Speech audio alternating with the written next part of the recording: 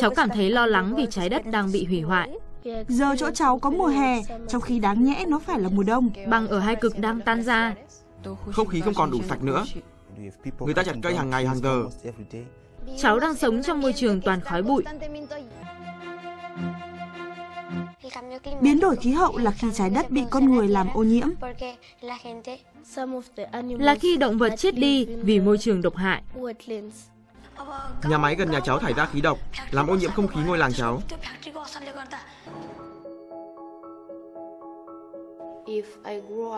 Cháu lớn lên, lúc đó sẽ không còn cây xanh. Cháu không biết nói gì với con mình nữa. Lúc đó sẽ toàn bệnh tật. Sẽ không có đủ đồ ăn cho mọi người.